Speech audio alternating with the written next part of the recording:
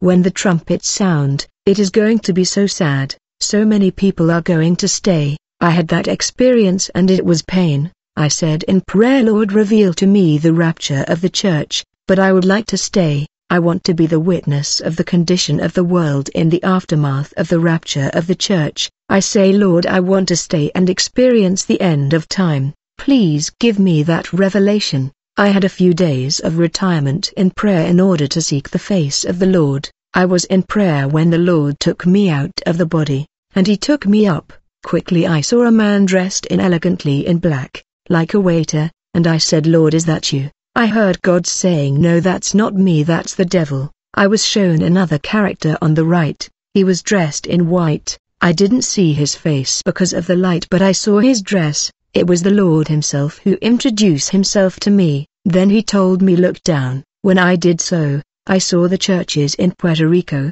I saw the whole country, there were many churches and I saw everything, the Lord presented to me four congregations of different denominations, he told me, Observe the first one. When I look I saw people singing, others were sitting, other were praising, and other were talking. The Lord said this is the condition of my church. The Lord took me to the other church and tells me what do you see? I said they are singing, I can see that they are praising, but other are sitting and looking around. The Lord said that's the condition of my church, and then the Lord took me to the other church. Consecutively the Lord me took to the fourth church, I saw what was happening in the middle of these congregations, we were visiting these churches but when I look up I saw a trumpet, that a figure was about to sound, precisely the way it is written, for the Lord himself will come down from heaven with a shout of command, with the voice of the archangel and with the blast of the trumpet of God, and the dead in Christ will rise first,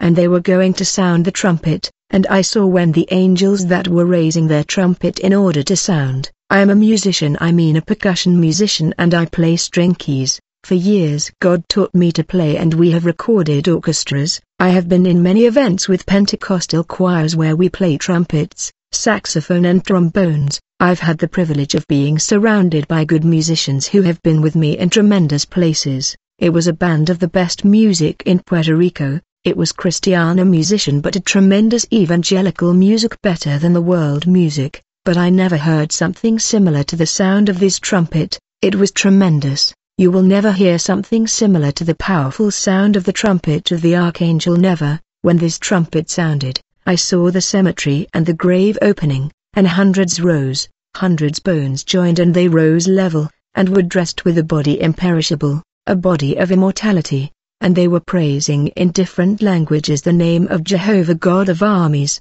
At the moment I saw many people in the church stay, I would say that 90% of the church stayed, an extremely exaggerated number stayed. When that trumpet sounded only I saw the prisoners who came out in white robes, only a selected number of prisoners that came out transformed. I saw when the trumpet was heard, the overcomer were taken away in vehicles, in airplanes, in buildings, in houses, and when they went up, it was such a precious thing, such a awesome thing. Something I can't describe, you will never see such thing in the films of Hollywood, no matter how much they try to do some movie it is impossible to imitate it. When I saw the saints rising it was so amazing, but the ugliest and brutal thing that I can't find words to describe happen. I don't want to remember the look of the earth when the church left, and I can still describe it for it was as if life ceased to exist. What make men laugh and what tea gives men the drive in life had disappears. There was no more the Spirit of God,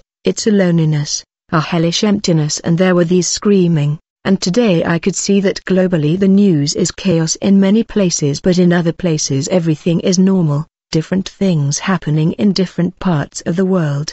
The impact of the rapture was such that there was chaos that permeated throughout the world simultaneously, people were screaming and crying, there was unprecedented chaos, because the devil was taking total control of the world with all his ugly disgusting demon, I stayed so impacted, and I get up from the impact after seeing the chaos and I stay awake screaming in the morning, my partner asked me what's the matter with you, I started to name her pastors, and I say better call another pastor,